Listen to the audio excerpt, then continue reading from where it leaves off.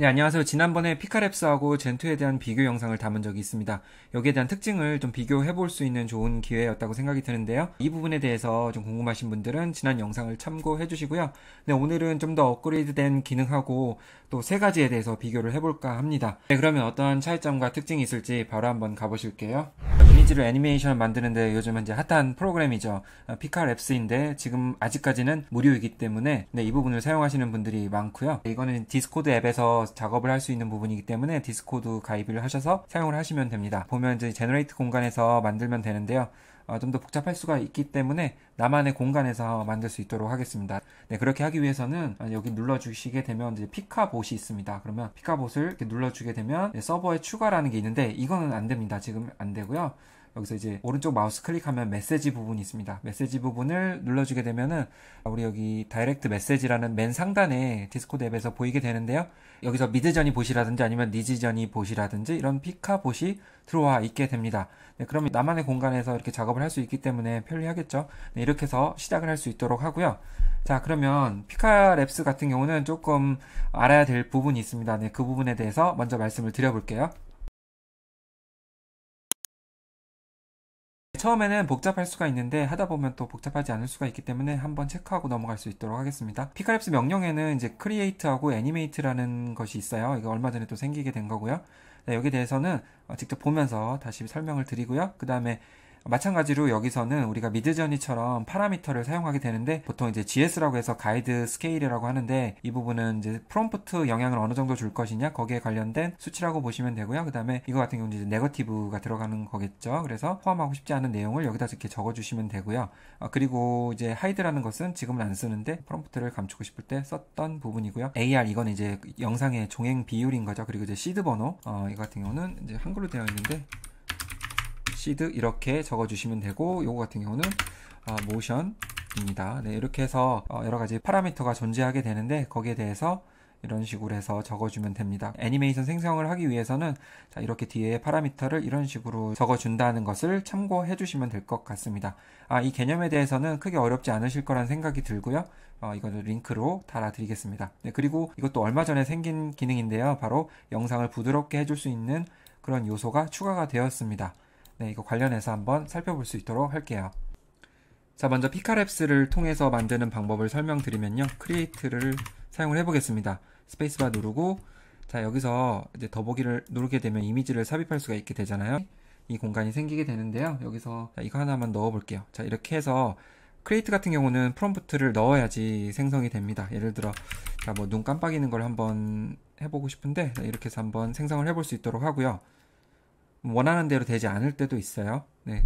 이렇게 해서 기다려서 생성을 하면 되고요. 또 명령을 하나 넣어보죠. 그 다음에 자, animate라는 명령어가 뜨죠. 그러면 이번에는 animate라는 명령어를 쳐서 스페이스바를 누르겠습니다. 네, 차이점이 있습니다. 바로 스페이스바 누르니까 이미지를 넣을 수 있는 공간이 생겼죠. 그렇게 해서 바로 넣고 이건 그냥 이 상태에서 엔터를 눌러도 되고 아니면 더보기를 눌러서 따로 프롬프트를 또 적어주면 됩니다. 네, 특별히 적어주는 것 없이 시작을 해볼까요? 자, 이렇게 해서 그냥 엔터를 누르겠습니다. 네, 그럼 두 가지가 이제 실행이 되고 있고요. 나오는 동안에 이제 설명을 드리면은 이거 같은 경우는 또 생성을 할 때, 다시 생성을 할 때 눌러주면 되고, 이거 같은 경우는 자, 기존에 했던 거와는 다르게 어떤 텍스트를 바꾸거나 어, 그런 변수가 있을 때 사용해 볼 수 있는 어, variation 모드라고 생각하시면 됩니다. 그리고 만약에 이걸 없애고 싶다 했을 때는 X를 눌러서 없애주시면 되고요. 자, 두 개가 나왔고요. 비교를 해보겠습니다. 네, 이것도 깜빡이고요. 네, 이건 좀 변화가 좀 다르죠. create하고 animate 적용했을 때 조금 다른 모습을 확인할 수가 있었습니다. 이거 같은 경우는 이제 문구를 적지 않았었죠. AI 임의대로 좀 만들어지는 경향이 있고요. 자, 네, 그리고 여기 입력창에 적어도 되지만 이렇게 해서 다시 한번 생성을 해볼 수 있도록 하겠습니다. 아, 예를 들어 우리가 아까 모션이랑 그런 파라미터가 있었잖아요. M으로 치면 되고요. 자, 여기서 M이라는 것은 0에서 4 숫자 보통 디폴트 값은 1로 되어 있는데 최대로 움직일 수 있도록 이렇게 한번 해볼게요. 이럴 경우에는 또 어떻게 만들어질지 뭐 GS를 20으로 바꾸던가 이런 식으로 해서 명령어를 좀 변화를 시켜주면 다양한 영상을 얻을 수가 있겠습니다.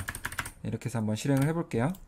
네, 이 정도만 몇 번 하다 보면은 사용법을 금방 익히실 수 있을 거예요. 아, 그리고 어, 지금은 안 다루지만 만약에 피카랩스를 이용해서 좀 더 긴 영상을 뽑고 싶다 했을 때는 거기에 대한 영상을 또 다시 제작해서 올릴 수 있도록 하겠습니다. 자, 만들어졌는데요. 확인해 볼게요. 자, 이건 모션을 4 최대치로 했을 때의 영상입니다. 네, 눈도 깜빡이고 고개도 많이 움직이는 그런 영상이 만들어졌고요. 네, Pika Labs는 이따 비교도 해보겠지만 일관된 영상을 만드는데 지금까지는 제일 좋은 tool이라는 생각이 듭니다. 그렇기 때문에 영상 만드는 데 있어서 비용도 안 들고 좋은 장점을 지니고 있다는 생각이 들고요. 물론 이제 시간 지나면 이것도 유료로 바뀌겠죠. 음, 요즘 이제 AI 툴들이 좀 빠른 시간 안에 유료로 바뀌는 그런 경향들이 있습니다. 아, 그리고 새로 생긴 기능에 대해서 하나 더 해볼 수 있도록 하겠습니다. 네, 여기 보면 이제 create를 한번 해볼게요. create 해서 이미지를 만들어 볼게요.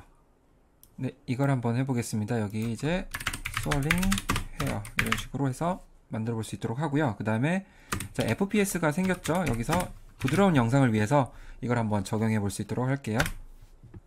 네, 만들어졌고 볼게요. 자, 이렇게 머릿결이 부드럽게 움직이는 영상이 만들어졌습니다. 네, 한번 이렇게 활용해 보시면 좋을 것 같고요. 지금까지 피카랩스에 대한 간략한 사용 방법에 대해서 알아봤습니다. 그러면 이제부터는 세 가지 툴에 대해서 간단한 비교를 해보겠습니다. 네, 이 폭발하는 이미지에 대한 비교를 좀 해봤는데요.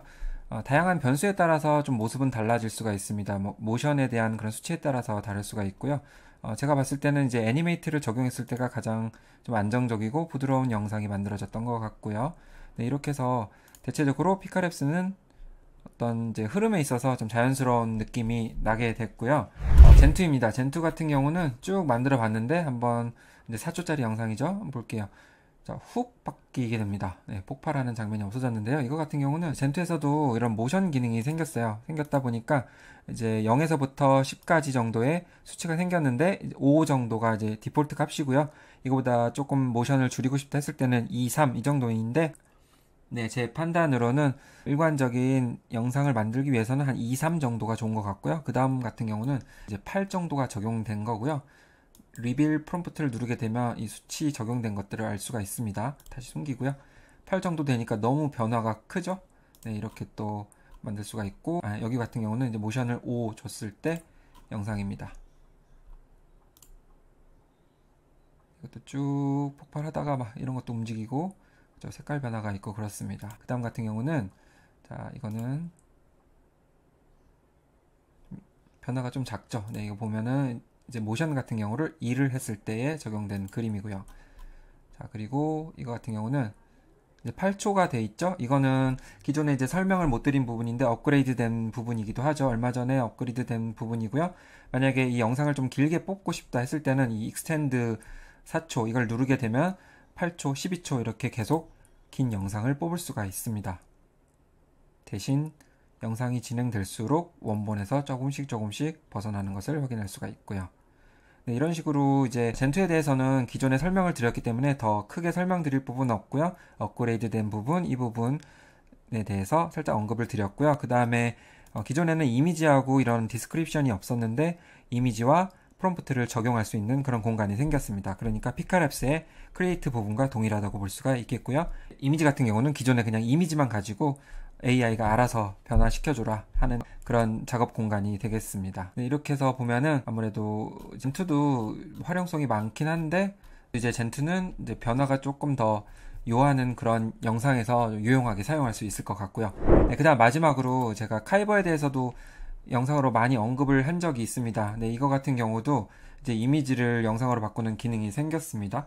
보면은 자 많은 변화가 있죠. 이것도 재밌어요. 카이버도 재밌는데 변화가 더 심해요. 아무튼 젠투보다 더 심하고 이제 애니메이션화가 되는 그런 느낌으로 봐주시면 될 것 같습니다. 네, 이렇게 줌인으로 되는 그런 효과로 만들어 줬고요. 네, Kaiber 같은 경우는 여기 create video 눌러서 네, 기존에는 이것만 만들 수가 있었는데 이제 모션 부분을 클릭하게 되면 여기에 이미지를 삽입해서 만들 수가 있습니다. 예를 들어 이제 자동차를 하나 넣는다고 했을 때, 자, 이렇게 해서, 어, 이런 subject에 대한 묘사를 할 수가 있고요. 자, 이걸 누르게 되면은 자동으로 이게 채워지게 됩니다. 네, 그래서 그림에 대한 설명을 해주는 거죠, 자동으로. 그 다음에 이제 스타일을 설정할 수 있는 부분이고요. 뭐 Kaiber에서 이거는 익숙한 부분이라는 생각이 들고요. 이런 식으로 해서 비디오 세팅을 통해서 만들어주면 됩니다. 네, 이거는 역시 숫자가 적을수록 변화가 적고요. 숫자가 많을수록 변화가 많다고 보시면 될 것 같고요. 자, 이렇게 생성하는 데 있어서 크레딧이 조금 많이 드는 편이에요. 네, 오늘은 비교 영상이긴 한데 비교에 대한 내용이 사실은 너무 적죠. 아, 아무래도 이제 피카랩스에 대한 부분 보충할 게 좀 있어서 그 부분이 좀 길었던 것 같고요. 네, 여기서 이렇게 간략하게 살펴봤으니까 어떠한 차이점과 특징이 있는지는 어, 캐치하셨을 거라 생각이 듭니다. 네, 그럼 또 업그레이드 되는 내용이 있으면 알려드릴 수 있도록 하겠습니다. 네, 내용 봐주셔서 감사합니다.